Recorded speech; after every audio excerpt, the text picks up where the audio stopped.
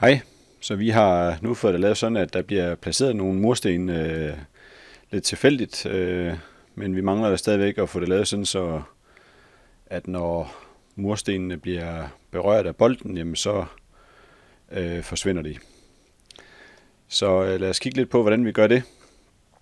Og øh, en måde at gøre det på, det er at sætte en forever ind i den her When I Start as Clone, fordi så er det jo her, den ligesom kan sanse, om den bliver rørt af en bold. Så vi tager en forgrening ind, som hedder, øh, vi bruger den her touching øh, sensor. If mursten is touching bold, then delete this clone. Og delete this clone finder vi under control øh, værktøjskassen sammen med de andre tre blokke, der handler om det her med kloner med klone. så nu skulle det gerne være sådan, at når, man, øh, når bolden rører en af de her mursten, så forsvinder den simpelthen. Lad os prøve at se, om det er tilfældet. Vi kan godt se, at øh, stille og roligt, som, øh, som bolden rører øh, murstenene, så forsvinder det. Nu ved ikke, om jeg kan ramme flere. Og der bliver jeg ramt en der. Yes. Så det ser ud til at virke. Øhm, vi skal selvfølgelig også have nogle point, øh, hver gang at vi rammer en mursten. Så lad os prøve at kigge lidt på, hvordan, øh, hvordan vi kan gøre det.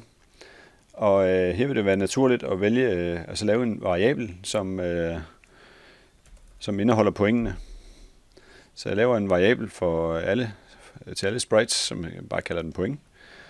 Og så kan vi se, at den står heroppe, og lige nu der har den værdien 0. Øhm, indtil videre så vil vi lade, lade den stå oppe i skærmen, så man kan se, hvor mange point man har. Hvornår skal der så gives et point? Ja, det skal der når bolden rammer en af de her øh, mursten, eller det vil sige, når en af murstenene bliver ramt af en bold. Og øh, derfor øh, kan vi øh, på koden til murstenen øh, indsætte den her øh, change. Så vælger vi lige point her. Change point by one. Og det er altså en af den her forening, hvis murstenen rører bolden, så får vi et point, og murstenen bliver slettet, altså den klon bliver fjernet. Så lad os lige prøve at se, om, øh, om ikke det virker. Vi skyder bolden afsted.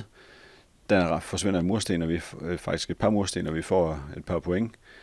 Og der var lige et par mursten mere.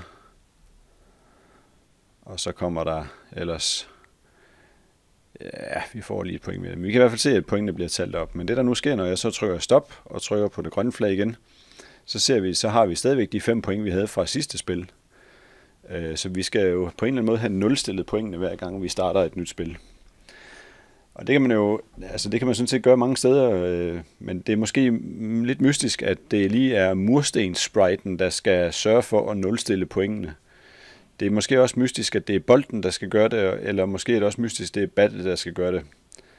Øhm, sådan nogle ting kan man faktisk øh, lægge ind under øh, ens øh, baggrund, altså ens stage, sådan så den holder styr på det, kan man sige. Så nu, hvis jeg nu trykker på vores stjernebaggrund her, så kan vi faktisk lægge en event ind her, som hedder, når man trykker på det grønne flag, så vil vi gerne nulstille den der variabel.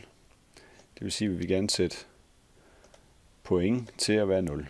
Og når jeg nu trykker på det grønne flag igen, så vil vi se, at pointene bliver nulstillet, og vi kan skyde bolden afsted her. Og øh, ja, så kan vi nu øh, begynde at få point, og, øhm, øh, og, og det gør jo, øh, at vi nærmer os et, øh, et, et reelt spil her, kan man sige. Men øh, det var alt for nu. Moin.